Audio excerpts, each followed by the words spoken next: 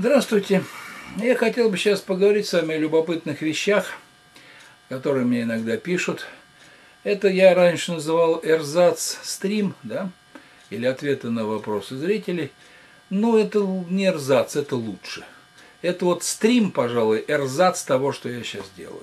Потому что в стриме, ну, вопросы случайные, ну, немножко непонятные, да, так это некий, некий такой встреча со зрителями, знаете, какая, достаточно пустенькая, мне кажется. Вот, поэтому вы, пожалуйста, э, поддерживайте меня материально, без всяких этих стримов, просто потому, что я для вас рассказываю интересные и полезные вещи. Внизу у меня для этого есть и вновь, вновь созданный этот, как он называется-то, Donatation Alerts. Есть номер Сбербанковской карты, заканчивается он цифрами 3243. Есть номер счета в Сбербанке и все реквизиты этого отделения Сбербанка. PayPal, международная система. Яндекс деньги, Киви кошелек. Вот высказывание, я, собственно, хочу его прочитать, высказывание моего зрителя и прокомментировать его. Да? Высокая скорость изменения и появления полезных мутаций может объясняться тем, что человек и его ближайшие предки жили всю основную часть своего существования в группах по 10-30 человек, где мутация у одного человека – это уже 10-3% населения. Таким образом, изменчивость в малых группах очень быстрая, в отличие от больших групп, как сейчас. Интересное мнение – ну, вообще, относительно мутации, ну, вот какая-то классическая теория, да, теория, как сейчас называется, синтетическая теория эволюции, вот сейчас она так называется, это вот он ее излагает, вот так, вот, свое дополнение к ней, значит, сделал по поводу малых групп. Все это так, но это не отменяет то, что вероятность мутации э, очень мала, и вероятность мутации положительная очень мала. Понимаете, в чем дело? Вот про изменчивость. А что касается малых групп, э, их устойчивости, да, это связано прежде всего с тем, что вот именно в этих малых группах, которые сохранились, которые уцелели, ну, какое-то время не существовали, в них просто было достаточно очищенная, да, вот за счет того, что малости группы наследственность. Как только, значит, возникала какая-то, значит, э, собственно, все эти связи были так иначе близкородственные, понимаете меня, да? А вот, ну, в каком поколении относительно близкородственные. И был, был, привело бы это все к вырождению наследственным заболеваниям, если бы у них была, как говорится, плохая наследственность. Да? Вот у нас обычный метод – это очистки наследственности, это у нас то, что есть два пола, мужской и женский. Да? У женского пола у них все хромосомы парные, а у нас одна хромосома, у мужчин – Одна хромосома X непарная, для нее еще и хромосома Y, которая никакой генетической информации не несет, это просто коробочка, которая говорит, что вот это говорит, мужчина будет. Вот. А все, как, какой это будет мужчина, это на той X хромосоме написано, да, понимаете как? Вот, и если у женщины две X хромосомы, если на одной какая-то белиберда, она с другой считает, она от другого ей родителя досталась, организм считает и создаст эту программу. Вот. А у мужчины она одна. И если она бяка, то он просто не появится на свет. Да? Вот тут у нас э, большая часть оплодотворения яйцеклеток происходит по схеме XY. Ну, там типа 4 к 1. Но на свет появляется значит, мальчиков только чуть больше, чем девочек, да, фактически один к одному. Остальные просто э, даже не отбраковка идет на самой первой стадии, даже не закрепляются, э, так сказать, оплодотворенная яйцеклетка таким образом в матке. Она просто не жизнеспособна уже на том уровне. Такая, такой там плохой какой-то обнаружился код, что он вылетает. Вот, вот, вот для чего. А тут вот просто такие маленькие группки, да. И, кстати, наша страна это в значительной степени была страна за до недавнего времени таких маленьких групп, потому что ну, крепостное право, жили у одного барина. Ну, вот это было очень, очень было сильно это все, да, очень было сильно. Хорошо, если барин еще не принимал участие в размножении, а то знаете, как он, все первенцы от него. Понимаете?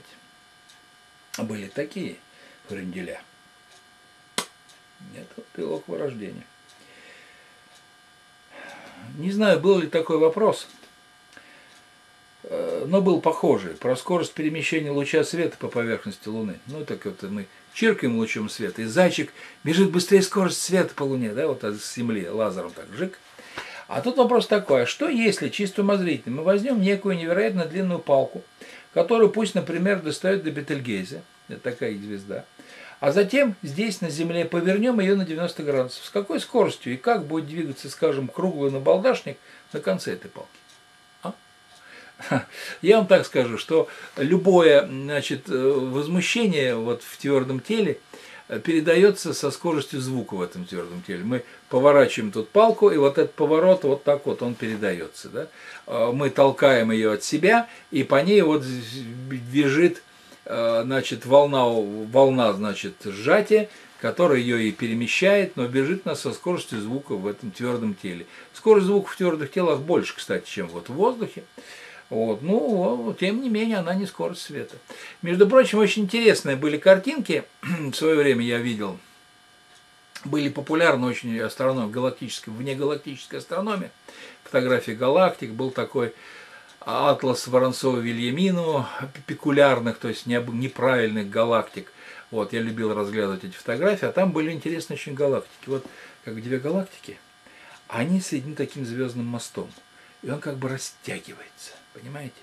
Он растягивается, растягивается, и он бац, лопнул в нескольких местах. Понимаете как? И это как раз должно произойти, если действительно растягивается какое-то твердое тело. Да? Вот оно растягивается, вот как обычно твердое тело, когда мы его растягиваем, оно лопается в одном месте. И все, только в одном. Потому что вот в этом месте разгрузка произошла, и все. Дальше, дальше все тело узнает со скоростью звука, что оно вот тут уже лопнуло все. Перетяжка появилась, да, шейка. А тут-то шейка появилась, а в соседнем месте еще не узнали, там шейка появилась. Да? Вот мне очень нравилась эта аналогия. Ну, если про палки э, таких вот галактических масштабов, то это вот она. Так, спрашивают про католит и анолит. Католит и анолит. Утверждает, что в свое время в советских аптеках он продавался – но я вот не помню, продавался ли он в советских аптеках. А, католит и анолит. Это значит, берете вы электроды два, катод и анод, пропускаете ток через воду. Кстати, через воду вы можете пропустить ток только в случае, если вода не дистиллированная. Дистиллированная вода будет изолятором. И, кстати, дистиллированная вода реально используется в качестве изолятора, например, может быть использована, используется, например, в этих самых конденсаторах, например, да, потому что у них большой очень эпсилон, хороший конденсатор получается. Вот. И получается, что одна из этих вот имеет кислый вкус, а другая щелочной, немножко мылкая такая она как бы, да. Одну называют живая, другую называют мертвая. Ну, почему называют живая и мертвая, это, наверное, как из сказки там, да. Вот. А что касается вот продажи в аптеках, я вот этого, честно говоря, не помню. Часто, по-моему, предлагается такой товар. Прибор для так, производства живой и мертвой воды. Вот.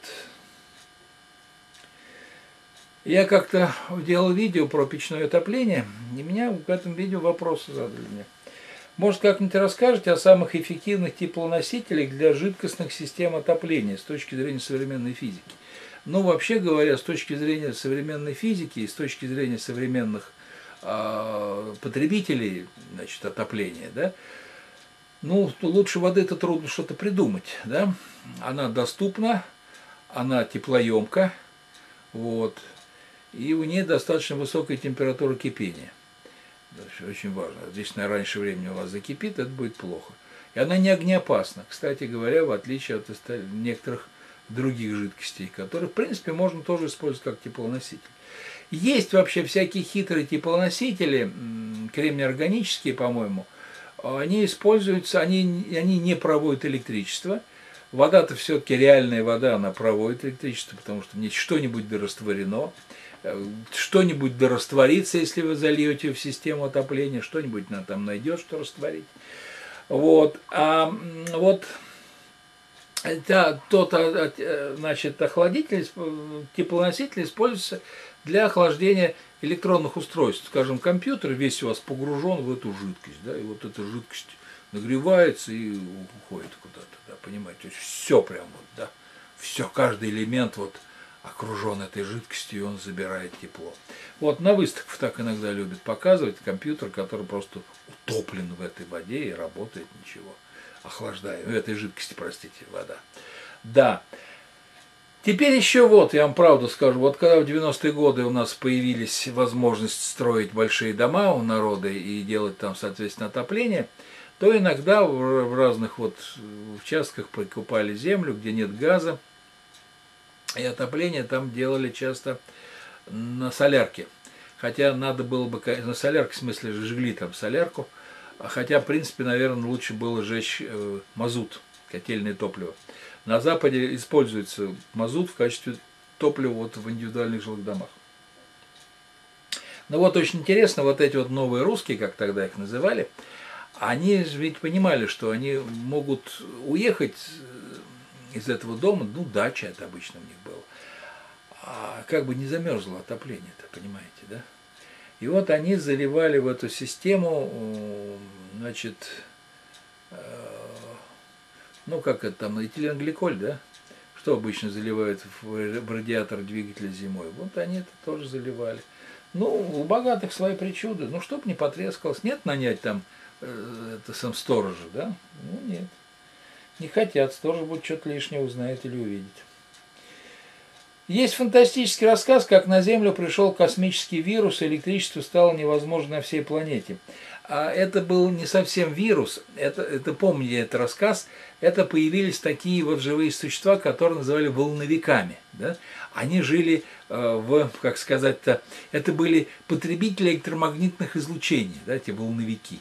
И вот чуть вы что-нибудь включаете радиоприемник, и он тут же потребляет радиопередатчик, он тут же вот эту всю волну съел, схавал, да, уже радиоприемник не примет ее. Вы включаете э, сеть электропитания, да, у вас идет, значит, колебательный процесс. Все, он эти колебания тоже, волновик, значит, скушал. И вот описывает сообщество, где живут, ездят на лошадях, паровые машины, все без электричества, все без электрической связи, без телеграфа. Вот так-то вот обходится, вот так все, вот оптические методы. Вот. У Вселенной ведь должна быть максимальная масса. Если бы масса Вселенной была больше этой границы, сила гравитации пересилила бы расширение пространства, и Вселенная сомкнулась бы в одну точку. Это так товарищ пишет. Так ли это? Если да, можно ли рассчитать максимальную массу Вселенной? Кстати, очень хороший вопрос, между прочим. А, дело в том, что вот э, интересный вопрос, интересная проблема. Вот недавно, значит, товарищи оценили ну, среднюю плотность э, Вселенной. Ну, это не так уж сложно, такая оценка есть. Товарищи оценили, а, значит, ну, зная радиус видимой части Вселенной, то есть 13,8 миллиарда световых лет, оказалось, что масса всей этой Вселенной при такой средней плотности – она как раз такая, чтобы вот радиус Шварцшильда был как раз 13,8 миллиарда световых лет. То есть мы, получается, как бы живем внутри вот такой вот черной дыры, да, радиусом 13,8 миллиарда световых лет. Я вам уже пытался внушить, что вот гигантские черные дыры, да, гигантские черные дыры с огромными массами, они имеют огромные размеры, и внутри этой черной дыры средняя плотность, она не очень-то и большая. Да, там типа как в верхних слоях атмосферы Земли. Вот, ну, ну, у них размеры циклопические, там, да, понимаете. Совершенно ужасный размер. Вот. Ну, как отнестись вот к этому расчету, о котором сейчас сказал? О том, что при той плотности вещества во Вселенной, которая есть, вот эти самые радиус видимой части Вселенной, это как раз, как раз и есть Э, радиус той черной дыры, в которой мы как бы вроде должны находиться. Ну, вот на этот вопрос, как бы сказать, э, специалисты по общей теории относительности стесняются дать прямой ответ. А дело в том, что, вот смотрите, какая ситуация.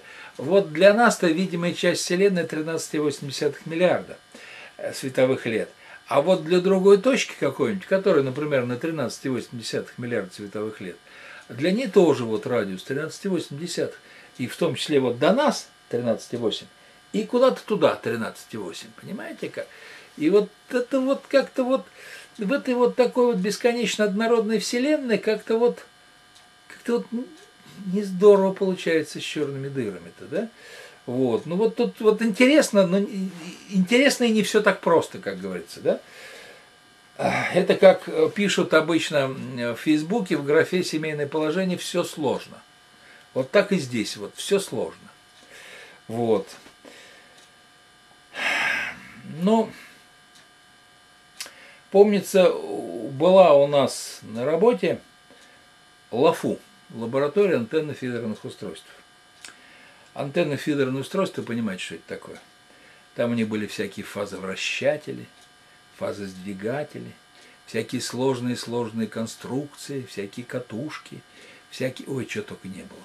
А, я уж не говорю про то, что были э, эти самые антенно-фидерные устройства, которые назывались а, фазированные антенны решетки, фар.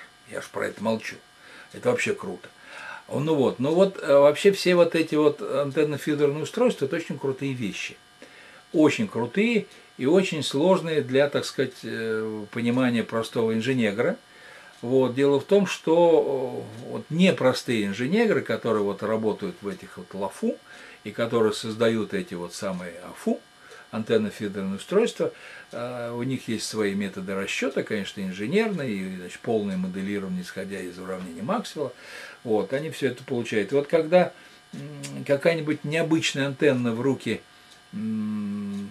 энтузиастов попадает, энтузиастов любителей, я бы так сказал, по старинке, хотя не знаю, как они себя называют сейчас, вот, то у них возникают иногда неправильные взгляды. Вот из одной, из одной такой антенны а, они решили, что тут вот, вот знаете, вот почему возникает, скажем, электромагнитный Э, сигнал, да, электромагнитная волна, потому что движется ускоренный заряд.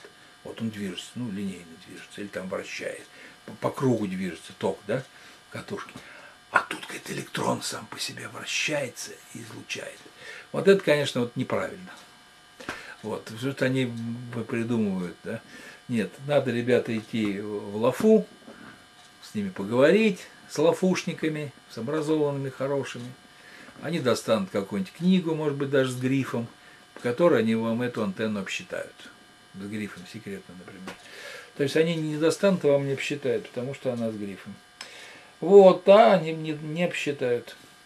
Вот такие вот дела. Ну что, будем считать, что я обменялся с вами мнениями, дорогие мои зрители. Да? Вот, спасибо вам большое за то, что посмотрели меня. И еще большее спасибо за то, что мне пришлете новые вопросы, обменяйтесь со мной своими мнениями и всякими проблемами, а я по ним вам, может, большую передачу какую сделаю, может, маленькую, ну, вот такую, может, пупури из ваших вопросов. Спасибо, жду вопросов и самое главное, денег жду. Вы не поверите, деньги – это самое главное, что есть в экономической жизни человека. Пока.